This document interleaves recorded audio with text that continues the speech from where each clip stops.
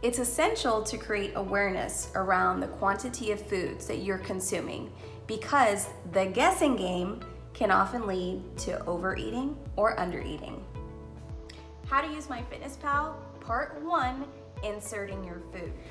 The first method I'm going to show you is the barcode method. This includes any items that already have a barcode on it. We're going to click the blue addition button. From here, click on food. Then you're going to choose whether this item is going into your breakfast, lunch, or dinner. I'm going to be adding it to my lunch. From here, because it is the barcode method, we're going to click on the barcode. It's going to read the barcode. And again, that's the barcode method.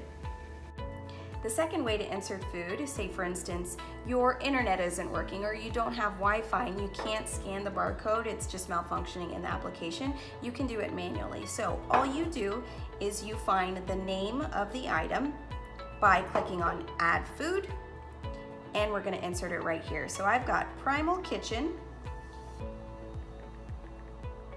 soy sauce. So from there, and you typically don't have to put in the entire name, it will likely pull it up. So I'm gonna scroll down and there it is, no soy teriyaki. I'm gonna adjust my serving sizes, again, back to two, check mark, and done. To save you some time, I'm gonna show you a nifty little trick, and that's learning how to save and store your meals so that you can pre-plug ahead of time. So we're gonna go to a breakfast item that I already have logged for today. All I'm gonna do here is I'm gonna click on the edit button. I'm gonna click on my meal that I had at breakfast. From here, I'm going to go to the middle part at the bottom that says copy. I'm gonna click on copy and I'm going to take this meal to wherever I want to go. So say for instance, I wanna have it for breakfast on Wednesday, then I'm going to click check. And if I scroll to Wednesday, there it is. Save yourself some time, copy, and paste. Done. So many of you have questions about, well, how do I insert food when it's coming from a recipe online? Simple. Follow along. Okay, so you're gonna go to your search engine and you're gonna find the recipe. For instance, I've pulled up my 15 minute one pot enchilada skillet. From here, I'm just gonna copy that link. I'm gonna go back to the MyFitnessPal app. When I go to more, here, recipes, I'm going to create a recipe. So from here, this is where we can add from the web or enter ingredients manually. So because I've got it from the web, I'm gonna click on that guy. I'm going to paste in the search engine just like that. And then from here, click go.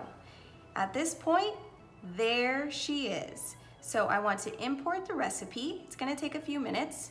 And voila, all of my ingredients are laid out. You can make any adjustments here if you've changed any ingredients, but for the most part, you're good to go to the next step click that right arrow and it's gonna try to match all of your ingredients here.